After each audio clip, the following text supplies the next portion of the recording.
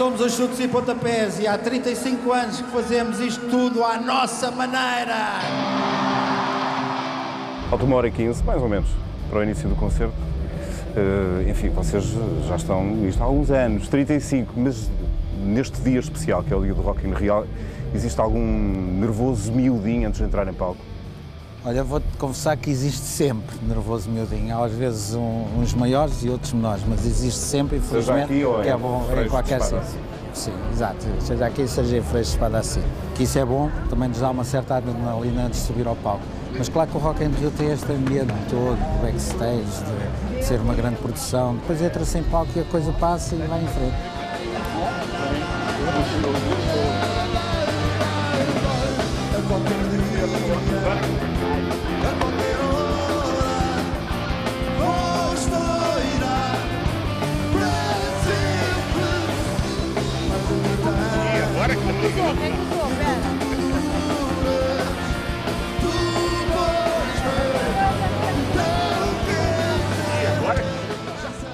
Concerto como aos outros, este? Não, este é o concerto do Rock in Rio, quer dizer, é uma coisa que nos, vamos, nos fomos habituando a ter na nossa vida de há 10 anos para cá. Dois em dois anos temos este ambiente, temos estas pessoas, temos este tipo de espetáculo, temos este, exatamente, este, este trabalho, esta, esta, este convite, esta envolvência e realmente tem sido muito, já faz parte da nossa memória, da nossa vida, fazer este concerto do, do Rock in Rio com tantas pessoas que já passaram aqui. Né? Então tem sido sempre. Pronto, então eu não estou nada nervoso porque é como viesse ao, ao meu concerto. Apesar dos Rolling Stones estarem enfim, a umas dezenas de metros daqui. Ah, isso ainda me põe mais calmo. É?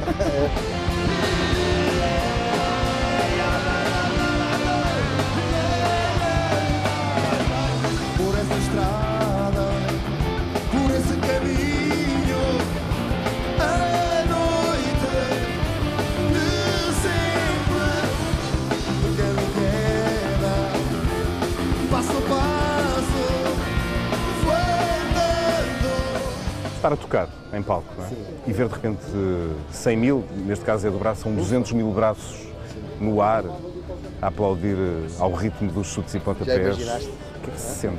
Já imaginaste? Enfim, eu, eu arrepio-me só de pensar nisso. Sim, sim. É, uh, Para quem está em palco, imagino. Sim, é, tem que se tomar em pequenas doses. mas aqui era uma dose industrial. Aqui é uma dose, sim, mas tem que se. Eu, não sei, cada um reage como reage, não é? Eu, para mim, fico extremamente satisfeito. É impressionante, este é o estado emocional. Fisicamente, o que é que se sente nesse momento? Eu acho que recebe uma energia muito grande do, do público. Sim. Felizmente temos canções muito boas que retribuímos essa energia, porque eu acho que a função de uma banda, qualquer ela que seja, quando recebe aquela, essas doses de energia, tem que saber a retribuir. Portanto, ser ali um fio condutor para a festa acontecer.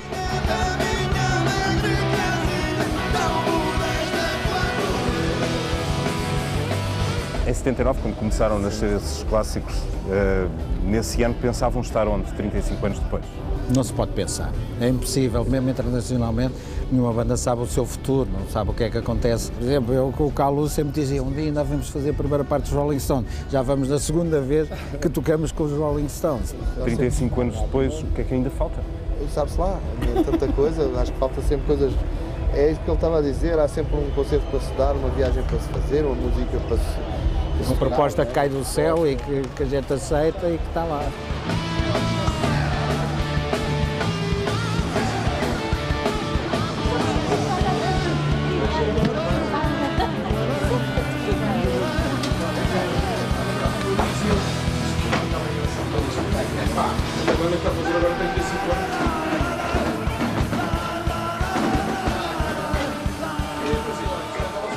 Esperam dos Rolling Stones? Os Rolling Stones, eh, eu espero dar um grande concerto e surpreender tudo. Eu vou ver os Rolling Stones pela 15 vez, cada vez que os vejo fico surpreendido. Portanto, hoje espero me surpreender outra vez. E o que é que tu esperas? Ah, eu espero ver uma série, eu espero ver uma série de pessoas uh, pelas quais eu tenho admiração por tudo, não é? Depois a, a tocar uma série de músicas que eu gosto também e com, uma, com, mais um monte de gente a sentir o mesmo que eu ao parecido, que é, que é a alegria de estar ali a partilhar aquelas músicas com aquelas pessoas nesta hora. Pronto, acho que isso é o. E como é raro, e eu espero que seja um concerto dos Rolling Stones, como as pessoas esperam que haja um concerto de chutes.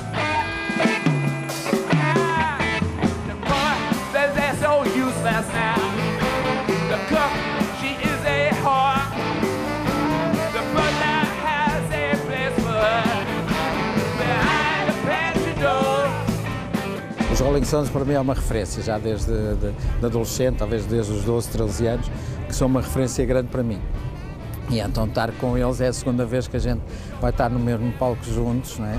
E então é uma adrenalina especial. Conta-se que em Coimbra, em 2003, eles ficaram muito espantados quando deram conta da reação do público à vossa presença em palco. Foi mesmo assim?